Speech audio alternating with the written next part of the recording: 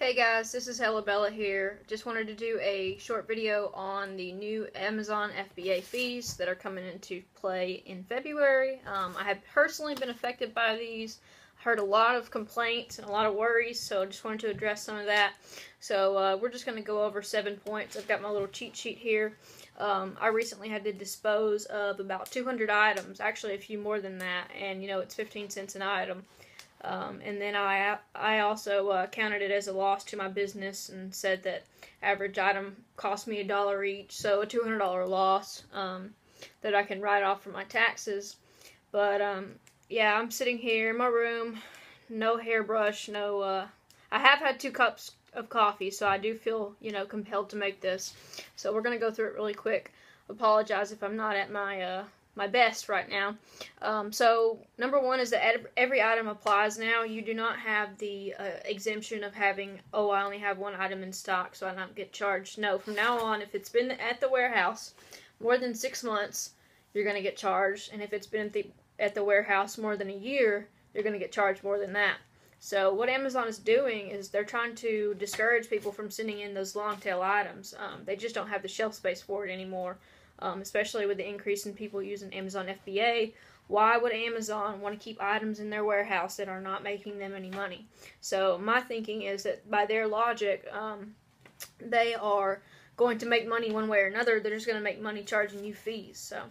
Uh, moving on to number two, uh, pay attention to sales rank. We're looking for items with a better turnover rate from now on. Uh, I'm going to be a lot pickier when sourcing. Um, I'm going to be looking for a sales rank 2 million and under, and I'm going to also look for, um, you know, I'm going to try to source books on uh, eBay, source books using um, Keepa. Um, I made a video previously about how I've been buying books from merchants and reselling on Amazon FBA, so I'm going to look more into that in the future.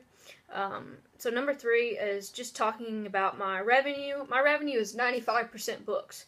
So I'm not going to go out of the book business just because we have some fee increases. That's ridiculous. Um, people complaining about this are whiners, and bitching and complaining about something is not going to change it. So what you have to do is you have to learn to adapt. Um, business changes, laws change. You know, there's always going to be something trying to uh, put you out of business.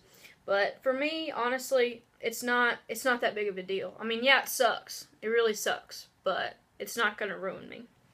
Um, so moving on to number four, um, the closing fee is going from $1.35 to $1.80. So we are seeing a 45% or a 45 cent increase in that fee. So um, just to give you some perspective, if you sell 300 items, uh, last month I sold a little over 300, but if you sell 300 items, that's $135 more in fees that you're going to wind up paying at that 45 cent increase. So something to keep in mind. Um, and that brings me on to point number five is to raise your price floor. So my price floor I've been telling people is around $7.99 and unfortunately I'm going to have to raise that and it's going to look more like 10 to $12 from now on, which also sucks because it means that I'm going to have to be more picky when I'm out scanning and sourcing, you know. Um, it's just the way it is. So uh, number six is um, just talking about my last payout. So my last check, check, um, was uh, $1,772.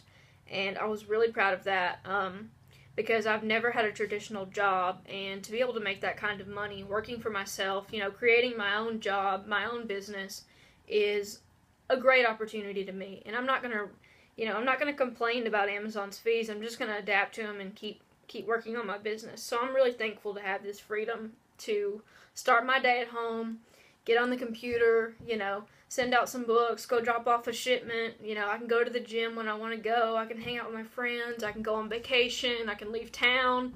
It's just nice to be able to have this kind of freedom. And in the future, i am also going to be taking some more sourcing trips. Um, I would really like to do like a 30 day trip where I just go um, to several different states and spend the night and source. And maybe I could find some uh, other flippers to hang out with and you know, ideally it would be great to have a place to stay, um, just to go and source a different town.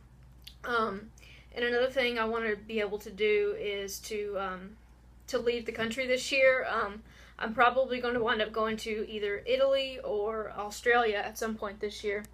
Um, so number seven is the name of the game is to keep feeding the beast. So as long as we keep doing that, I think we'll keep making money. Um, ultimately, it just means we're going to have to be more picky, um, unfortunately.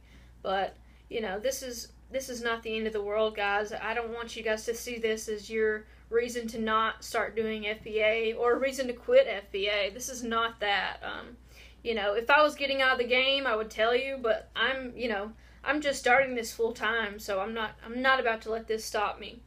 So um, if you like the video, comment, or if you have more questions about the new fees, let me know.